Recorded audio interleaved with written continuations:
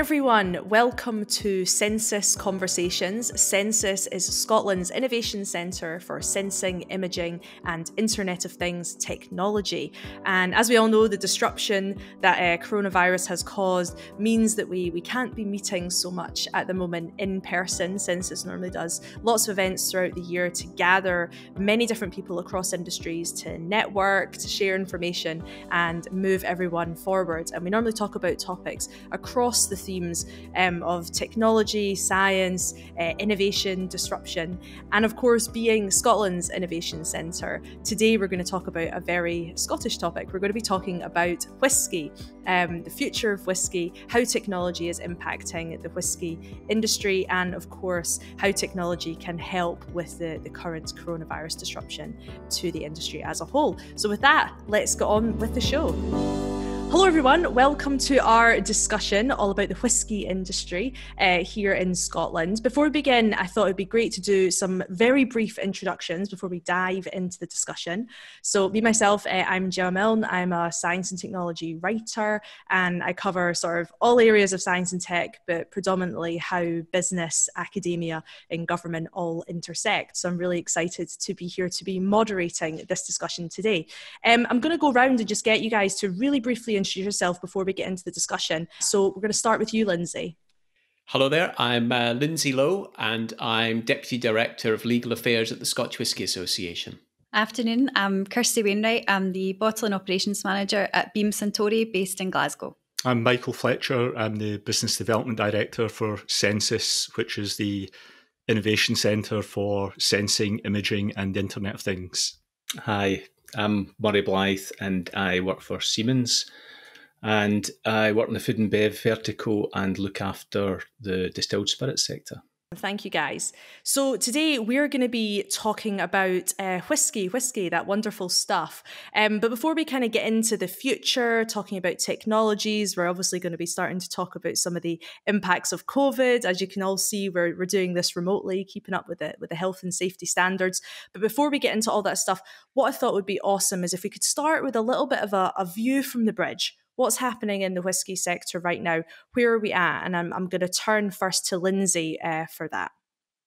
Well, thank you very much. Scotch whisky is a global industry based here in Scotland. Uh, it makes up 20% of the UK's food and drink exports. And um, in uh, 2019, exports were worth 4.9 billion pounds.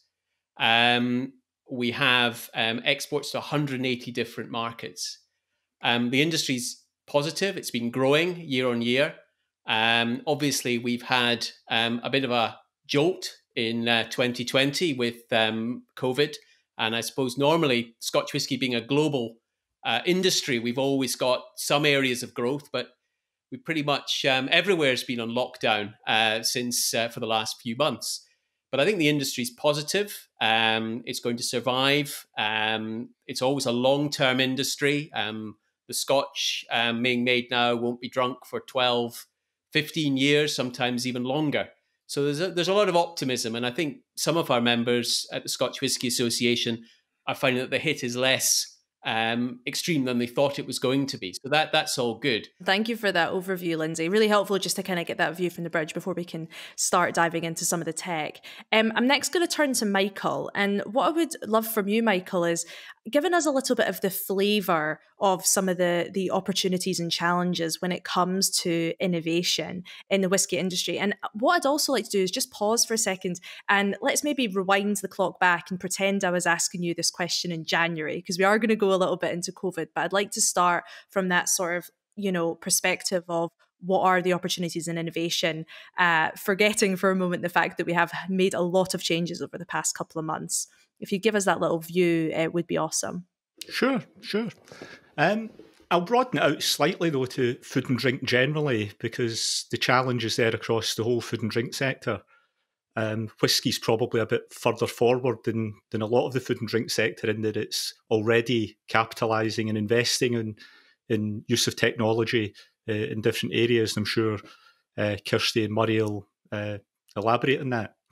The reason uh, CENSIS and Scottish Government generally are interested in this sort of area is that in the last five years, There's been huge advances in sensing, in imaging, in internet, which allows people basically to gather information that previously had to be done manually. People have to go out and take a temperature or make a reading or undertake some sort of measurement somewhere in the in the uh, manufacturing operation, feed it back, have a look at it, and then make decisions about how to to optimize the process.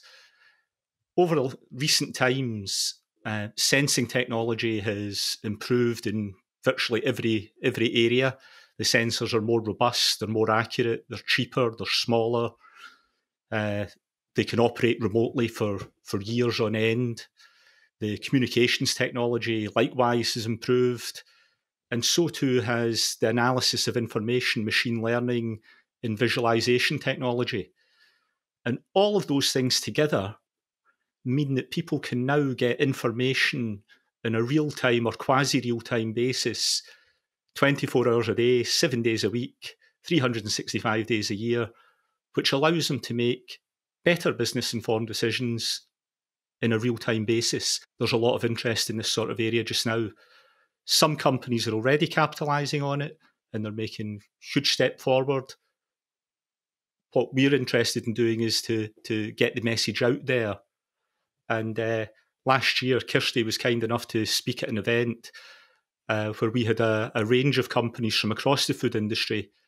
And one of the most startling things was the interest from all the other food sectors and what was actually happening in the whisky industry because they could see that people were already uh, investing where they hadn't I think you're right in the sense of uh, being able to showcase the potential of technology. A lot of the time is actually just being able to get to grips with what it can do. And then everyone who's an expert in their own field can start to kind of brainstorm and think and make connections and go, well, how is this going to be relevant for us? And of course, today we're focusing on the whiskey industry, but there are so many different elements of this industry as we're going to get into um, that hopefully will be relevant, uh, both in terms of people who are interested in what's going on with whiskey, but uh, sort of and beyond.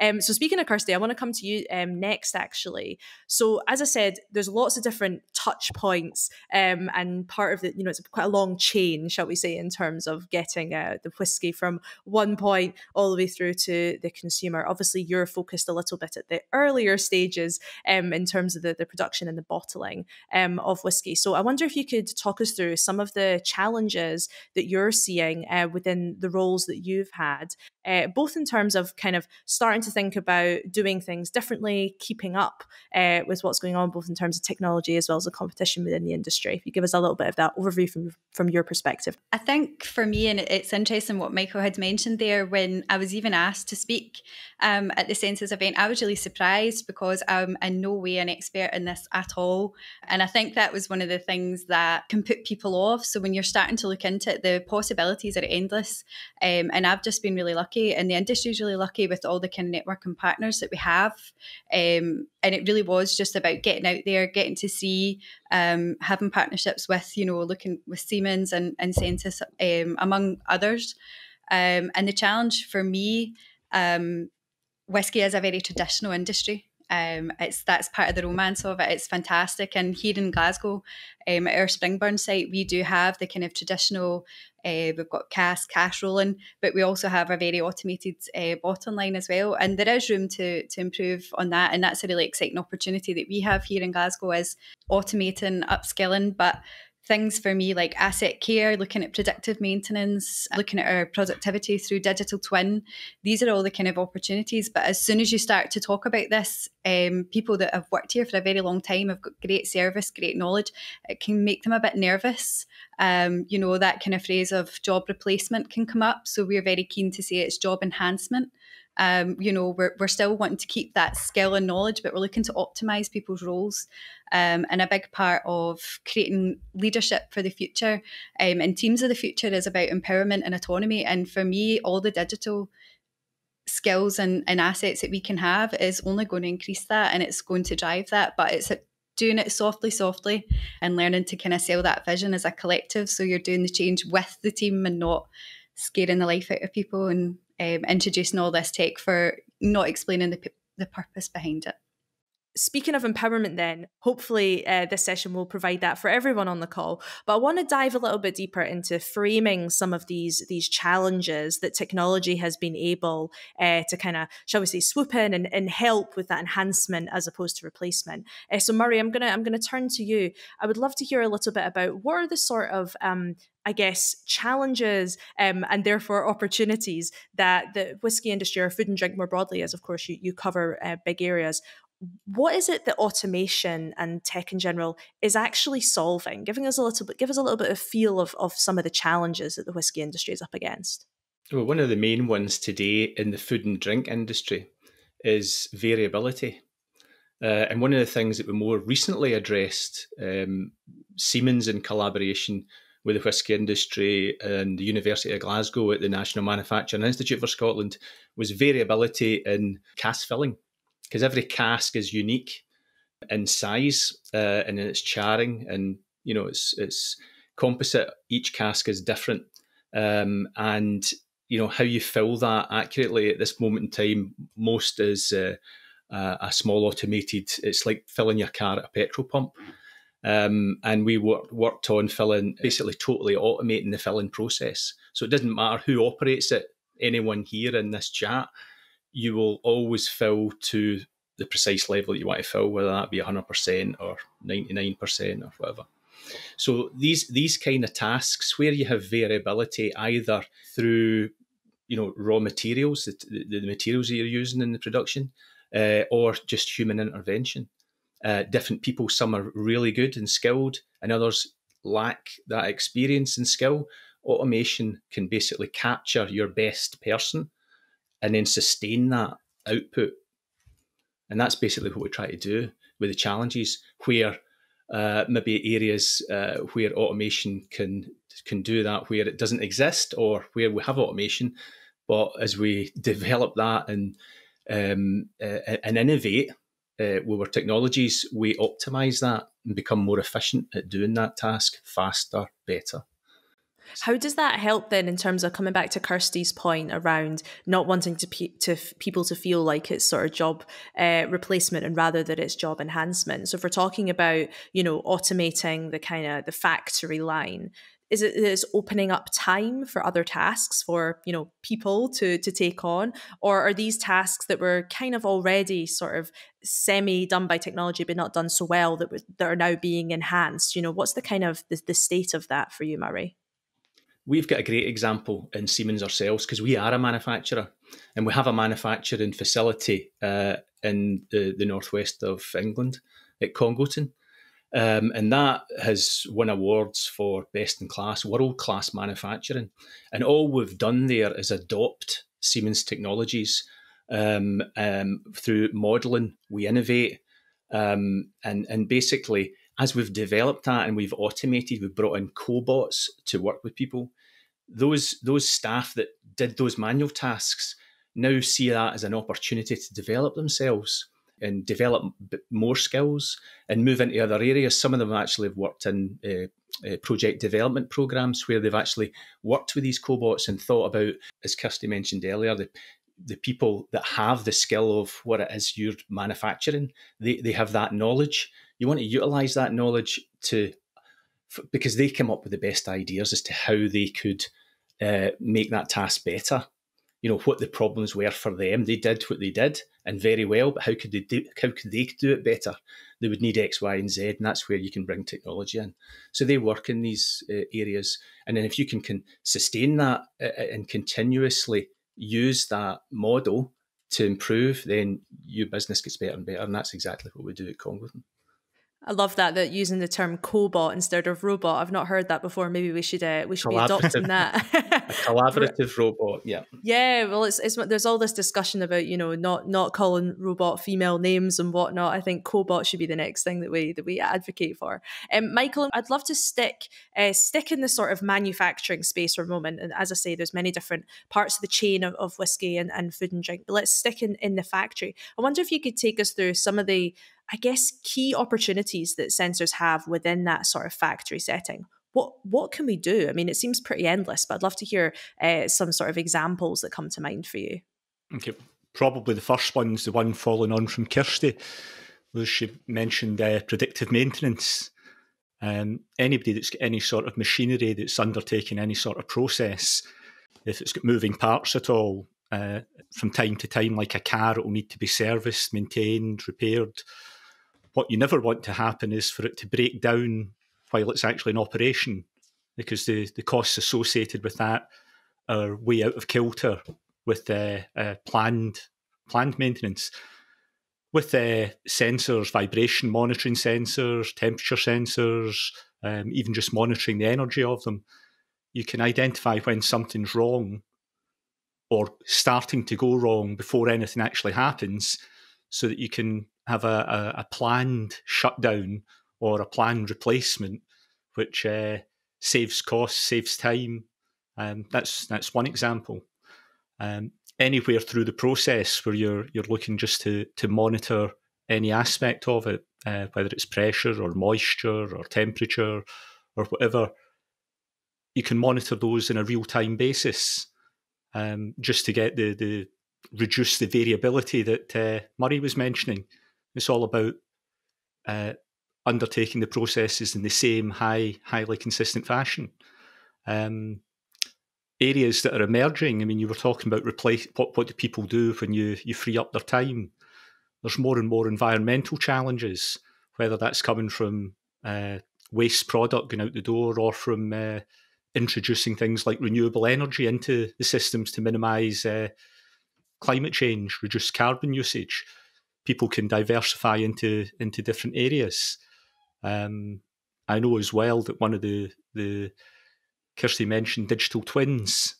So taking real time information and actually feeding it into the sort of enterprise resource packages so that instead of um, looking at the end of the day or at the end of the week how you've been performing, you can be taking a live feed of data for how many bottles are actually going through your production line um, and getting that information on a real time basis uh, assists with all sorts of planning, even down to the logistics of when you can then be taking something out the door and sending it off to whatever it was 150 170 different countries across the globe. So there's there's opportunities at, at virtually every area where people would have been taking or are currently taking measurements or just monitoring or just checking how things are uh, moving along and that's even down to before you get into the factory, the manufacturing process, right back at the start when you're looking at crops.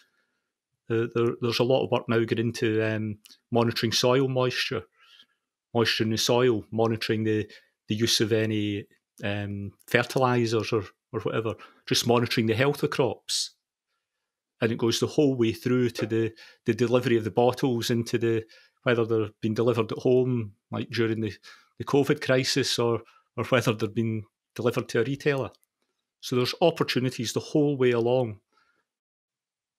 I think that that point about opportunities along the whole um, the whole chain, as it were, it comes back to this idea of mindset, doesn't it? Being able to go, okay, this is a technology is this thing that is going to enable me to, you know, as I say, whether it's to do with taking measurements where am I taking measurements across the whole thing, or where is it that I'm doing a repetitive task, or you know, it's it's trying to shift your mind a little bit, isn't it? And so I want to I want to go back to Kirsty for a second because you obviously brought up the the point around culture change. Um, you know, whiskey is a traditional industry, um, which is part of the the joy of the industry, um, and part of the the lore of the industry. Um, but I wonder if you could maybe talk us through how you have managed to you know come into to the, this industry or come into different companies and adopt both yourself this different kind of mindset but then you know be able to share that with your colleagues and, and lead projects that that allow for digitization in a way that makes sense in terms of keeping up with tech but also keeps everyone happy and willing and on board at least as much as possible too I have an enthusiasm for it myself, which I think helps because um, I think that it's easy to get people on board if you can explain. But I have been lucky that within Scotland and all the network opportunities we have, it's about going out and seeing it. So it's easy to talk about it and it's easy to show someone a PowerPoint, but I have been able to go and demonstrate. Murray mentioned Siemens Congleton. Obviously, um, I haven't been myself, but some of uh, my team in my previous company, uh, they were down and they're wowed by it, you know, because it is, you see all the, the possibilities. And then it's about coming back to our site and managing expectation as well, because you need to think, obviously, investment, um, time. Uh, it can be a bit overwhelming as well because the, you want to do everything. Um, but it is about sitting to try and make a roadmap.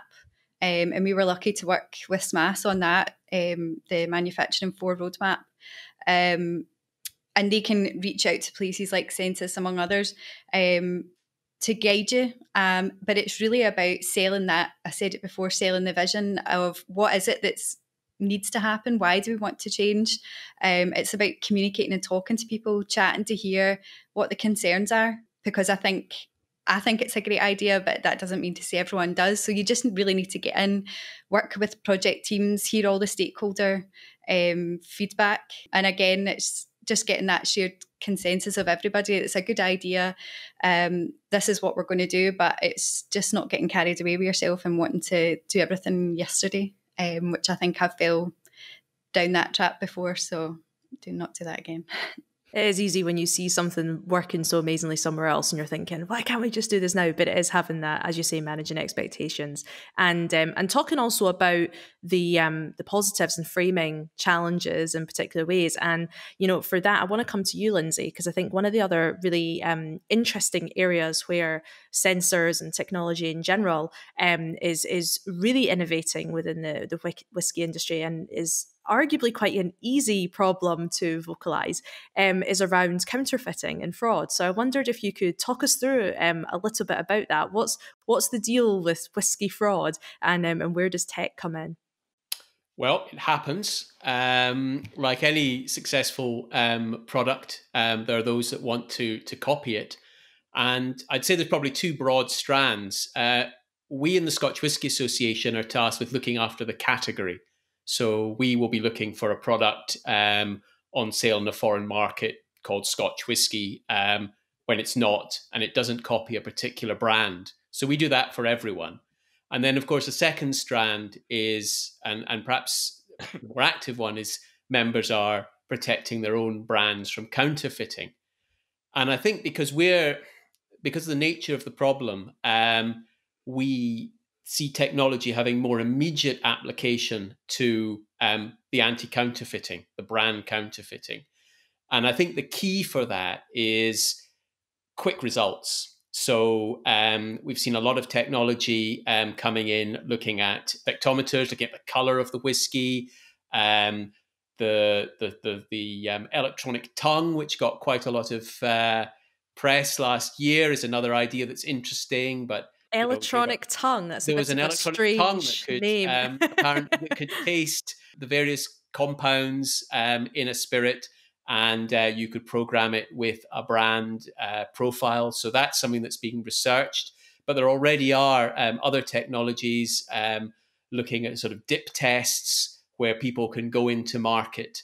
Um, we are one of the big handicaps, however, for Scotch whisky, because it's a geographical indication, it's got a very strict definition and you can't add anything to it. So other products have little traces in it which you can measure. So you can put a little secret key in it that um, if it's absent, then you know it's fake. We can't do that with Scotch whisky. So that means we've got to be quite creative. And going back to the Scotch Whisky Association's work, we're looking at um, products from there are now 130 different distilleries in Scotland. Uh, many, most of the products are blended, and you know, working out whether a product is Scotch whisky or not comes down to quite a lot of hard graft. You know, maintaining a big database, um, having knowledgeable scientists who know the sort of patterns that appear in whiskey generally. Uh, we're still looking for the magical solution on our side, where you can just scan a bottle and find the contents are fake or genuine.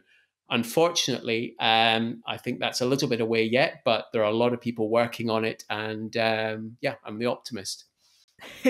You mentioned there this this idea of being able to and michael mentioned it earlier this looking at it from the as a whole chain and i wonder where sort of provenance comes in here too particularly to do with, with fraud and counterfeiting too. If you can know you know what exactly is happening every moment in the chain. So i wonder if you could talk a little bit about provenance and then michael i'd also love for you to chime in with some of the, the up and coming technologies in this space too. We really see two very important strands in proving that a product's fake uh, to a certain degree, we're looking at chemical analysis. So, what is in the liquid? Is it is it genuine or not? And then also, and you know, and it still is pretty old school. We're looking at the paper trail. You know, are there the documents? Is this company in China buying ten thousand liters of bulk Scotch and producing hundred thousand liters of bulk Scotch? If that's happening, you know there's something awry. So you've got the two sides. And um, one of the things which has been a major development in the industry is verification of Scotch whisky. And that's a requirement which is set down by the European Union uh, and which I think is going to be carried forward as we, as we move out of the EU, where um, customs and excise are responsible for assuring that all brands of Scotch whisky are produced in accordance with the definition. And they do this by um, checking all facilities that are um, involved in the production. And that starts off with the mashing and the distilling, and it goes right up to bottling, whether that's here in Scotland or, or as in sometimes the case, overseas.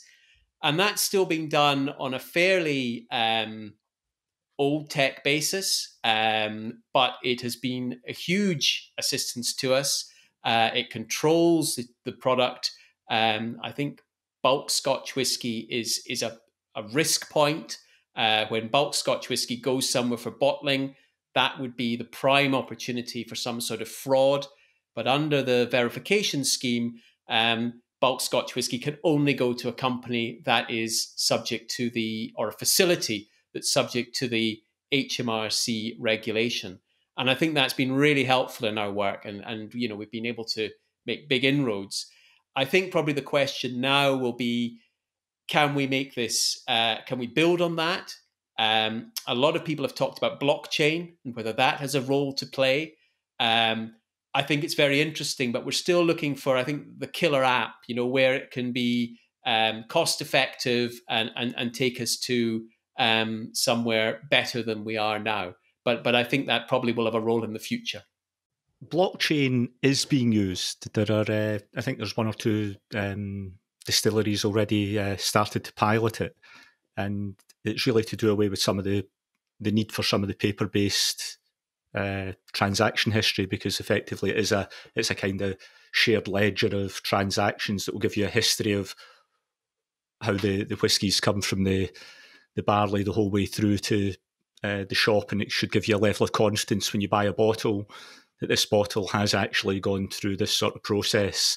It was started in this field, was distilled here, was produced there, was sent overseas here, um, and it, it really takes away a, a level of doubt, particularly at the, the very premium end. Um, as time goes by, uh, the costs associated with all these things and acceptance of it will will come down. But like all technologies and all of these areas, if it's uh, attractive enough, people will find different ways to address them. There's a, a very high level of confidence in blockchain because it's, I think, if a memory serves me, it was derived, developed for things like Bitcoin and electronic currencies. Yeah, secure. So it's, so it's very, very secure. But I'm sure that's been the case with almost any any new technology. There'll be a, a different way uh, that people will address it.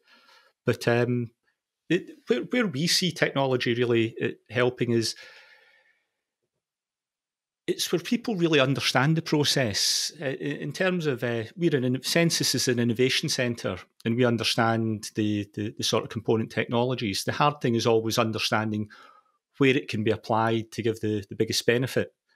And what Kirsty was saying earlier about the knowledge that's uh, within the staff within many of these traditional industries, it's it's utilising their knowledge to identify where the, the, the key touch points are that you can maximise the benefit from utilising technology. It's not a case of going in and just saying, here's all these range of technologies, we'll apply them. The, the, you, you have to be demonstrating some sort of return on investment. That might be a bottom line cash. It might be uh, meeting a, a, legislative requirement with regards to emissions. It might just actually be making the, the workplace a safer place. But you, you have to be identifying what the benefit is that you're going to achieve by applying the technology. Um, we see it in different industries, what we've been doing in the last year, and we've actually started to get a, a lot of traction in the in the, the food sector generally, and also starting into the whisky sector, is that uh, people are looking more broadly and they're saying, yeah, we can adapt something that's maybe been used in aerospace or something that's been used in a telecoms company to to to help with profitability. So it's not any specific individual technology. It, it's more where it can have the benefit.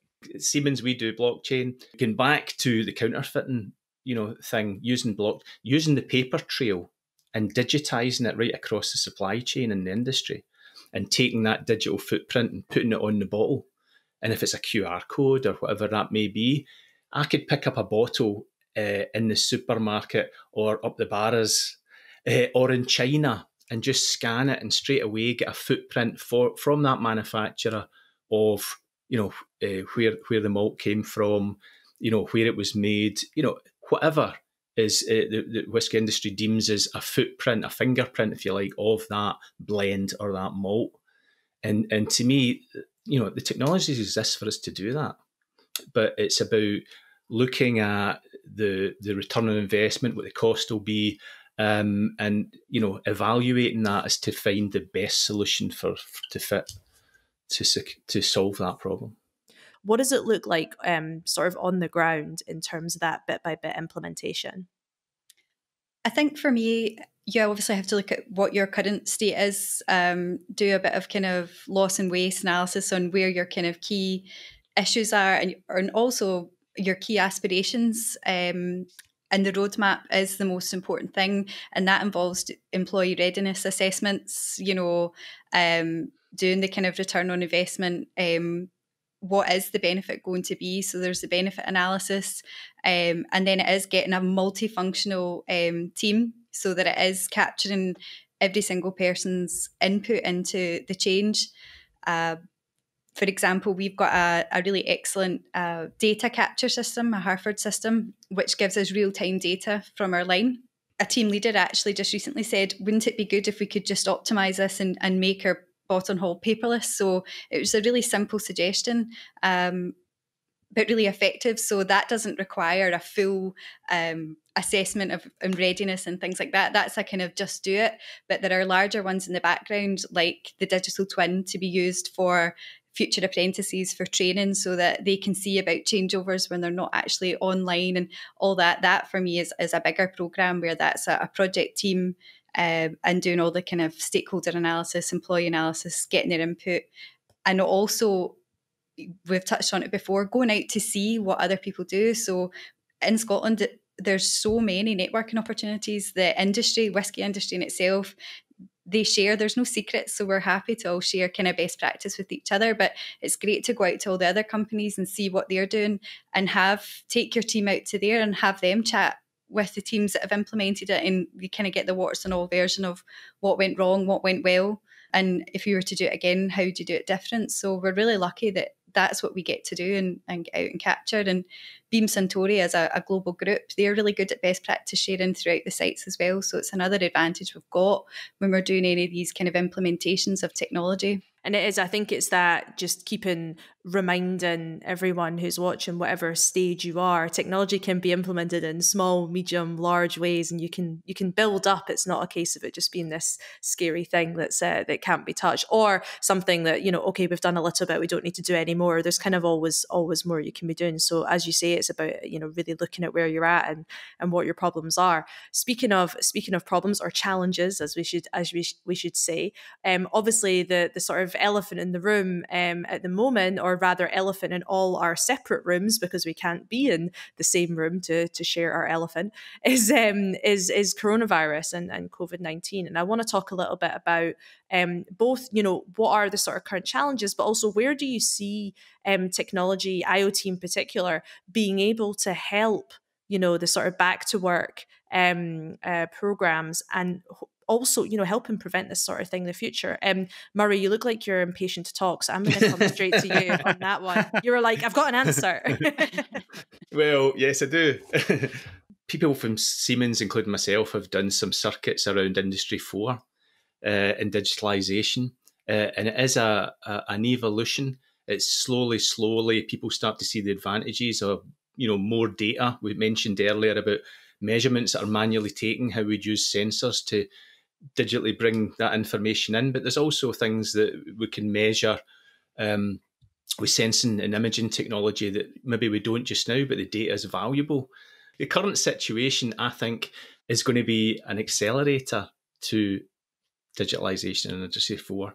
Look at what we're doing right now you know, normally we've been in the CENSIS offices in Glasgow having this meeting and, and maybe recording it or whatever. It's it's accelerating things. We've we've seen a massive surge from re- requests for customers um, for uh, our uh, remote connection service.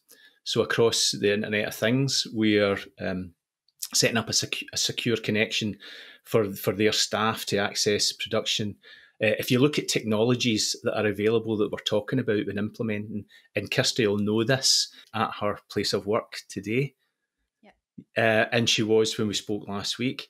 Um, however, she could operate, she could function in her role and connect to her team and everything um, automatically from home. You know what I mean? She could have everything that she needs uh, at home. She have full visibility in real time of what's going on in her production facility. Uh, and meanwhile, she could be working on her digital twin, trialing out new ideas and things with her team online like this, uh, and then implementing them. Um, so all, all, all the everything exists just now. It's just about how we get there, and I, and I do think the current situation is an accelerator to that. I mean, we've looked at you know we are manufacturers as well. Siemens were involved with uh, the ventil- the UK's ventilator challenge uh, with Airbus, uh, which was a great success. How did we do that? Well, um, we we used simulation modeling. Um, we basically we simulate, and uh, we're doing this for a lot of customers as well. You know, looking at optimize for return. Kirsty has her digital twin, you know, I mean, she could have utilized that to look at people tracking for social distancing. Uh, she could have real time people tracking uh, solution in place so that she could be warned instantly if there's too many people getting too close to one another.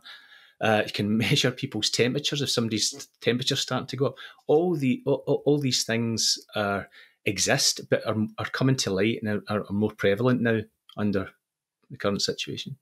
Yeah, I'm, I'm, certainly seeing that, you know, in, in, my sort of work as a tech writer, seeing that across all industries, that digitization in general and digital transformation or whatever whatever term we want to use is happening at a staggering rate just out of need. It's not this sort of shiny future th- innovation thing that we're talking about anymore. It's, well, this is what we need for business continuity and to be able to be more resilient um, in future. Kirsty, I want to come to you. I wonder if you could actually just tell us a little bit about, about what it's been like um, at the plant and what you guys are already um, implementing or in the in the midst of implementing to make things easier moving forward? So we had uh, at the very start of lockdown we had an operational pause where we stopped all production um, at this point all the office teams were working from home um, but myself and the team here that's doing production were on site until lockdown. Uh, we had a two week operational pause where myself and other uh, managers in the business were actually on site to look at capacity, look at how we can bring the operation back safely because we were always continuing to run whisky uh, within the whisky industry in Scotland was was running throughout lockdown as long as it could do so safely. Um, so it's actually, for me, I feel like it's been quite normal because I've always been at work and I've been part of the process of setting up all the, the markers, the temperature check stations that we have here on site. Look, listening to people has been a massive thing as well because Murray's right. I, I could have been in the house. Um, it was an option that was given to me, but I just didn't think it was, you can't lead a team of people through a, a major challenge um, and not be here uh, to reassure and, and to listen to feedback. So I didn't take that uh, opportunity, and I was I was glad to be here. Uh, so it's been obviously volume has been impacted for us because we don't have that capacity. We're running at reduced numbers um, to keep everybody safe. That is the most important thing. So we have to do the social distancing. Um, everything seems really relaxed because although we do we've turned our dashboards off actually because we do not want um, the driver to be speed you know so it's it's more about we're grateful to be getting something produced.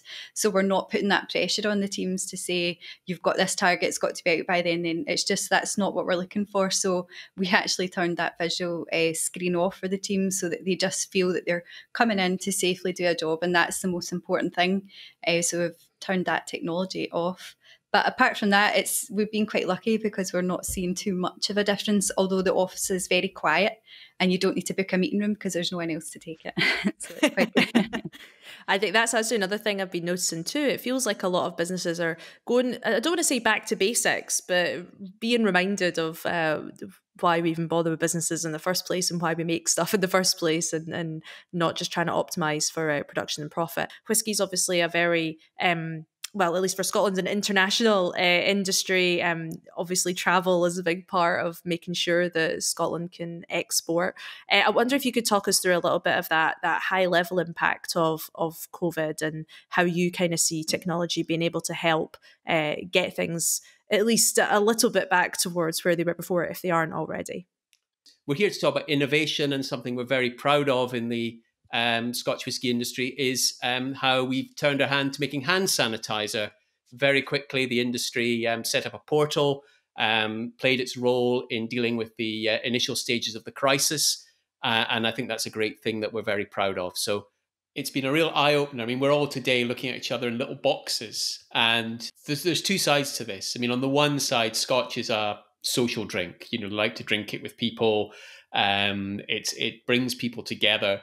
So um, the sooner that we we have um, the return of um, the on trade, where we where people get to meet their customers and their contacts, that's great, and we want to work towards that when as, as it when it becomes safe to do so. But equally, I think technology has shown that it's got a lot to offer. Um, I think probably I see more people's faces now than I ever did when you were free to get out and about. So, for example, later in the week, we have a working group um, which covers issues in Latin America. And uh, everybody will now be set up to um, join Zoom or, or another application, and we'll all see each other. And I, I think that's been really good bringing it together. On the consumer side, um, people have started doing online Scotch whisky tastings. And um, again, some say, well, it's not as good as the real thing, but it also means that a master blender can sit in their um, place in Scotland and they can speak to an audience all around the world who are drinking the same as them. So I think there's great opportunities there. And I think also um, it's brought into focus e commerce. Um, the industry has taken um, a big, a temporary hit but it's partly been made up by the fact that people drinking at home and trading up, you know, they're treating themselves because um, they're not able to go out. And a lot of members, a lot of companies are now thinking about how they can reach people online, can sell more of their products online. Um, that raises technological issues in many countries. It raises legal issues too, uh, which is something that the SWA is working to address. But um, yeah, I think we we were looking forward to when we can get together and raise a glass with friends. But equally, um, I think it's been um, it's been a real revelation as to what can be done in your own room. And I'd love before I finish, I just add also the environmental side. Um, you know, we are a two-site office at the Scotch Whisky Association. We have uh, colleagues in London and our main office in Edinburgh. We also have quite a demanding uh, environmental targets for the uh, the industry. And uh, while it's great to talk about uh, not using so much water or so much peat, we've got to remember how much carbon we use, you know, going to a meeting in London. And I think, again, this ability to see people and uh, communicate with them online has had a rethink, and, and, and we'll be learning from that and hopefully reducing our uh, carbon footprint accordingly, even when we're back to normal. Yeah, I think the environment you stole you stole my next question. The environment one was was where I was going to go to next because I think you're at you're spot on. I think um, the, the the the lockdown and the sort of situation we're in at in the world has really I think drawn quite a lot of people's attention if it wasn't already there uh, to the work still needing uh, being done when it comes to environment specifically for sensors and for IoT um, within whiskey or indeed uh, more broadly with food and drink in terms of how can um, sensing technology really impact or enhance um, or give superpowers, whether it's for measuring or insight or whatever, um, for for companies that are operating a space to ensure that they can reduce their environmental impact moving forward. Two things. One, I'll, I'll jump back to the the impact of COVID first because the uh, we've been asked um, to look at helping people go back to work in office or in uh, manufacturing operations in terms of because there's lots of uh, there's lots of press about different sensors that people could use to identify if they're two meters away and whatever. Um, there's also a lot about giving people confidence that they can go back as well. Uh, a big part's just to do with process and making people feel comfortable about the way in which they, they operate in the work environment. But we, we've been undertaking some pilot projects with uh, different organisations um, utilising sensors and small local networks that can identify when how many people are in different rooms so that people don't you don't get too many people going into one room or into a different room. Uh, how many are in the corridors and just using systems of uh, almost like a, a red green you can go in you can't go in and some of these very straightforward uh, applications can have a, a, a, quite a significant impact on um, making people feel more comfortable about uh, when when they're moving back into the office. On the environmental side, um, we've not done much as yet with the, the whisky industry as such.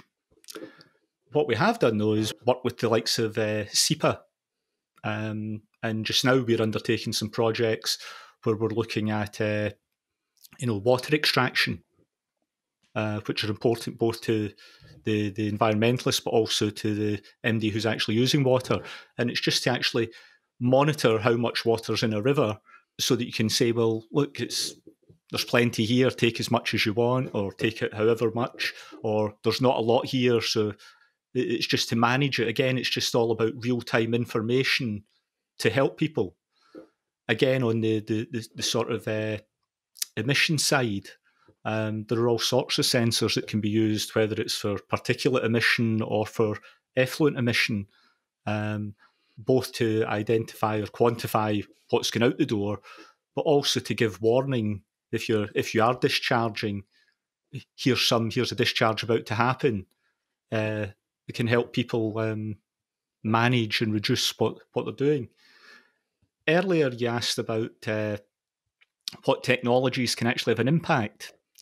One of the, the big ones that can certainly I think can have an impact in this area is uh, the use of machine learning whereby just monitoring your processes and getting lots of information, you can sometimes get insights that you wouldn't necessarily have come up with yourself in the first instance.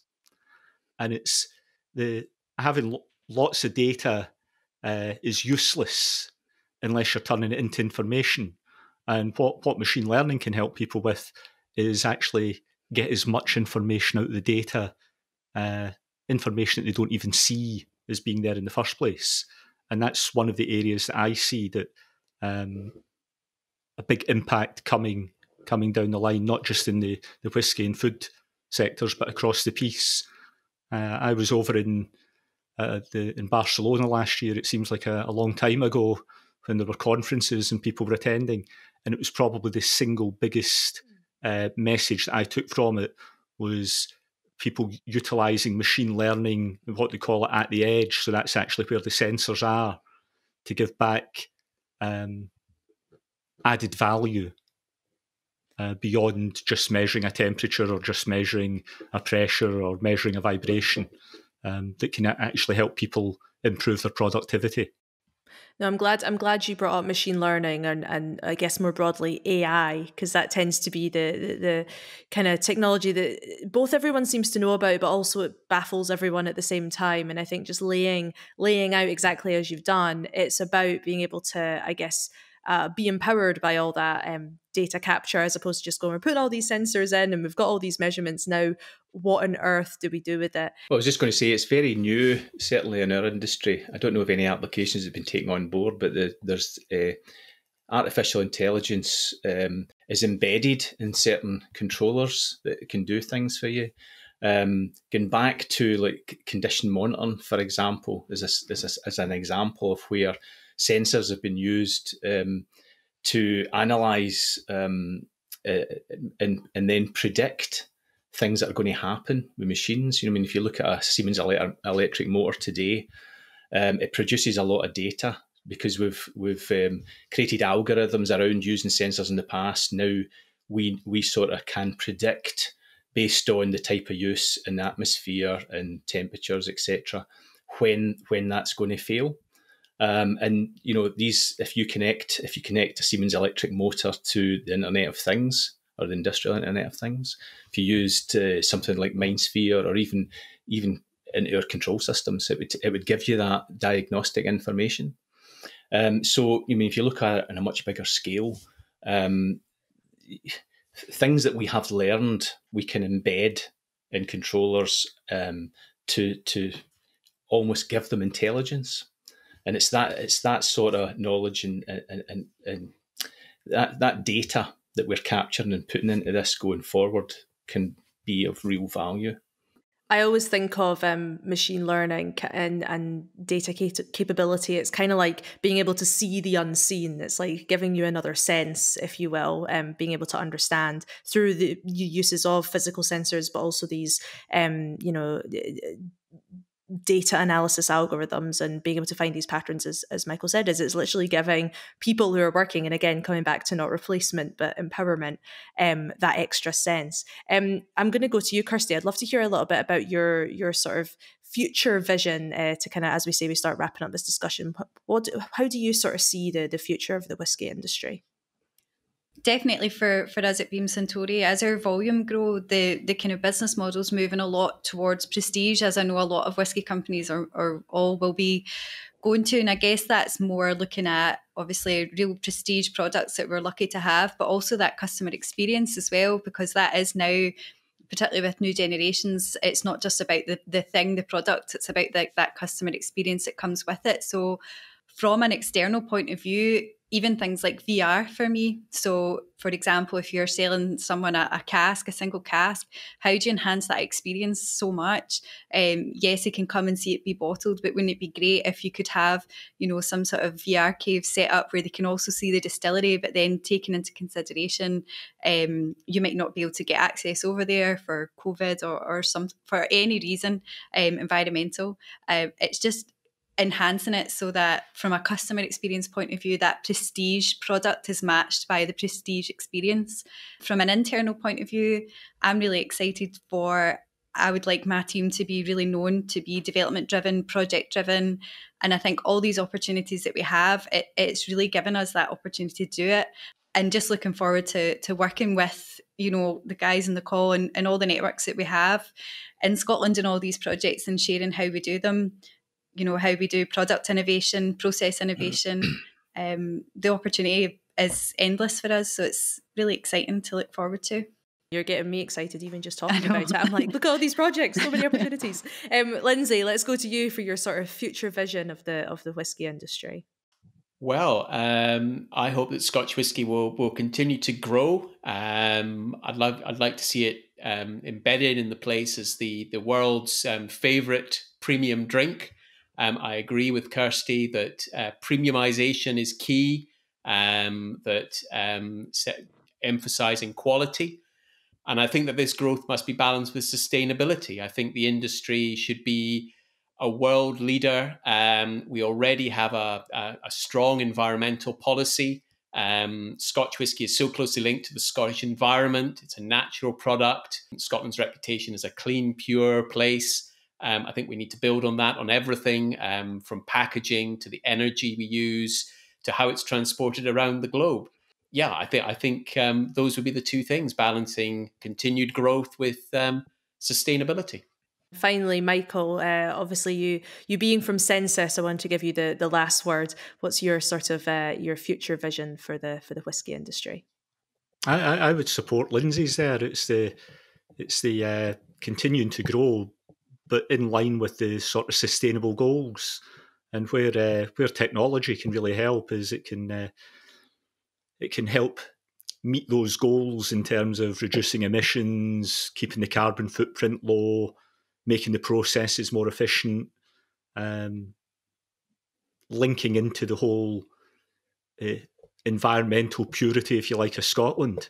Um, but at the same time, not diluting in any way the traditional methods of the that, that, are seen as a, a key part of uh, the the whiskey, uh, the drink. It's been the same drink for hundred years or two hundred years or or whatever, um, and it's it's it's managing that line. I, on a personal level, I just hope they continue to produce very nice products. I think don't we all?